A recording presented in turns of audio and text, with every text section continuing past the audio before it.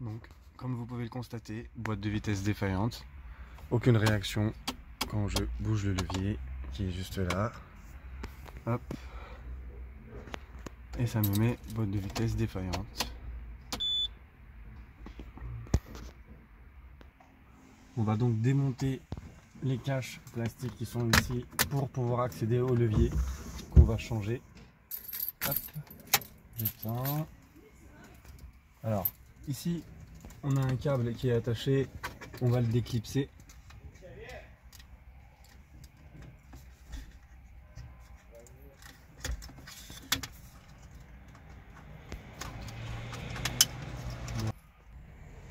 Alors, une fois avoir déclipsé le haut, il va falloir démonter le cache du bas pour pouvoir enlever celui du haut, ici le plastique est là, grâce à une clé Torx, euh, une, un tournevis Torx T20, comme ceci. C'est juste là.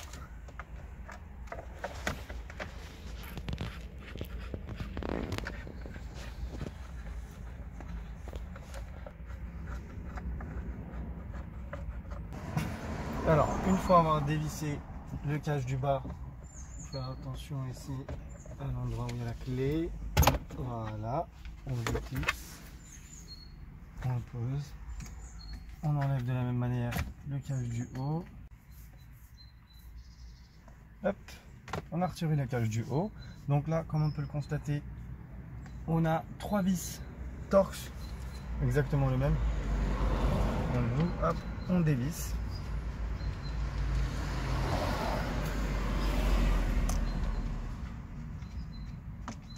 on a enlevé nos trois vis, on va pouvoir retirer notre levier qu'on va débrancher avec notre fameux levier qui est juste là comme ça. Hop, déclipsé.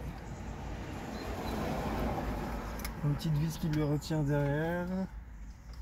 Un petit clips.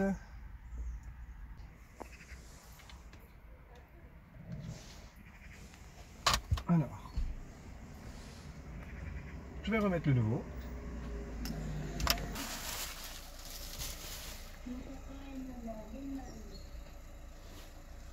Alors, on fait bien attention que c'est le bon modèle. C'est bien le M, modèle M. Hop. Ça vaut entre 250 et 300 euros euh, en concession ou les pièces originales.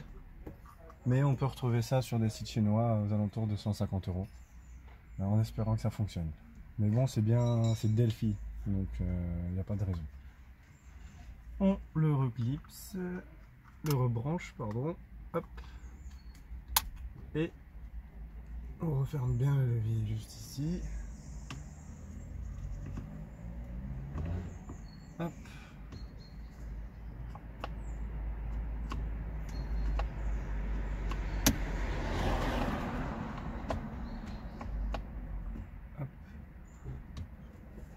on le revisse.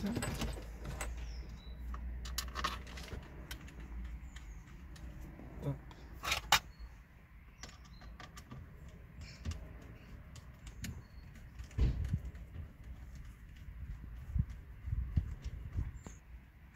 Alors, j'ai revissé le, nouveau levier.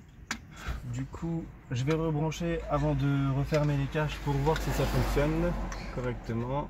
Hop, je vais mettre le contact. Allons-y.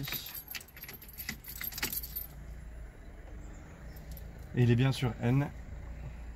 Et on n'a pas le message de boîte de vitesse défaillant. Donc ça fonctionne correctement.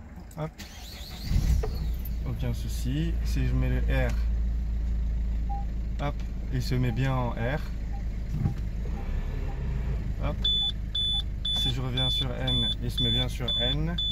Si je viens sur A1 ou en mode manuel. Là c'est parfait, ça fonctionne correctement. Nickel. On peut remettre les caches.